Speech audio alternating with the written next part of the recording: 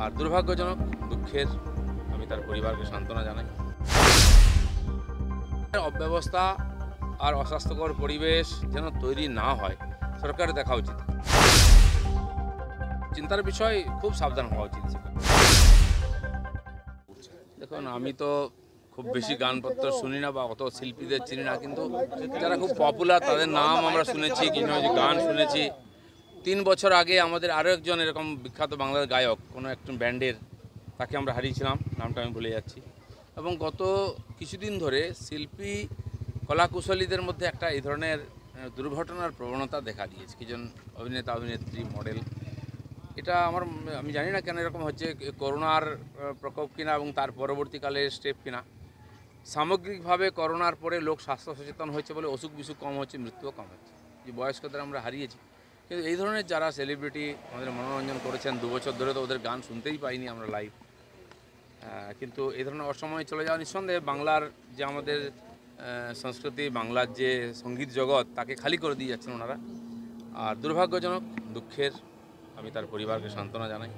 চূড়ান্ত একটা অব্যবস্থা বারবার নজরুল মঞ্চে ফুটে উঠেছে কারণ ভেতরের ক্যাপাসিটির থেকে বেশি লোক এসি বন্ধ করে দেওয়া হয়েছিল বাইরে ঝামেলা হচ্ছিল পাথরবাজি হয়েছে সেই ভিডিও আছে আমাদের কাছে এবং সব মিলিয়ে এই যে কেওস কে কে গলগল করে ঘামছিলেন এবং তিনি বারবার রিকোয়েস্ট করছিলেন যে এত আলো তিনি সহ্য করতে পারছেন না।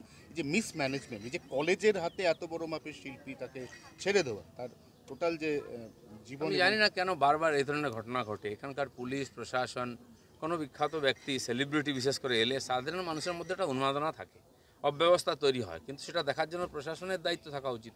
এই ধরনের শিল্পীদেরকে প্রোটেকশন দেওয়া, আপনি ভাবুন হাজার হাজার লোকের মধ্যে হলে এসি বন্ধ করে দিলে, এই যা গরম, বাইরে আমরা অসুস্থ হয়ে যাচ্ছি, ভেতরে কি হতে পারে? জানি না সেই কারণে উনি অসুস্থ হয়েছেন কিনা বা ওনার জীবন গেছে কিনা।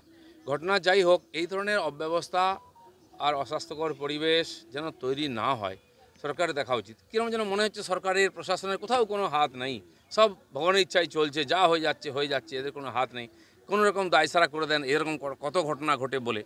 খুব চিন্তার বিষয় খুব সাবধান হওয়া উচিত এসব ব্যাপারে। দিলীপ দা, একটা সেন্সরের বিষয় আসছে যে আপনি দলীয় সহকর্মীদের বিরুদ্ধে মিডিয়ায় আর মুখ খুলতে পারবেন না। দল বিড়ম্বনায় পড়ছে। আমি জানি না এই ধরনের চিঠি মিডিয়াতে কি করে আসে। এটা মিডিয়ার ব্যাপার না সংগঠনের ব্যাপার। চিন্তার ব্যাপার আছে। এর মধ্যে আমার কিছু করার নেই। যারা এই ধরনের করছেন তারা উত্তর দিতে পারবেন। আপনি পেয়েছেন তো চিঠি? আমি পাইনি পেলে আপনাদের আমাকে চিঠি মিডিয়া পাঠাচ্ছে।